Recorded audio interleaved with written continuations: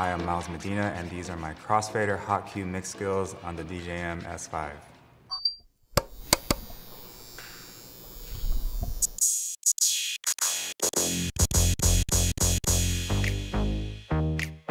Hey, oh yeah, oh yeah.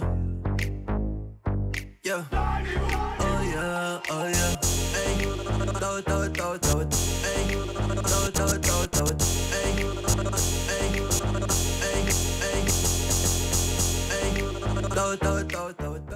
So for that one, I'm using the crossfader hot cue to bring in the next track.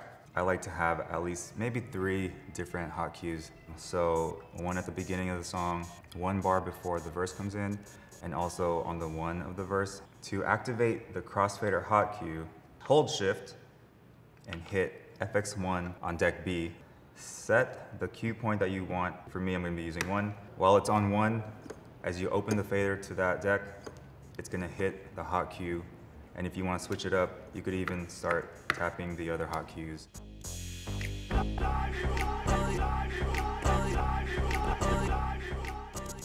Why I really love crossfader hot cue, for me, like it's all about rhythm. So once it's on, you can do some stuff that is probably not even possible on records. You could actually start beat juggling in a really cool pattern.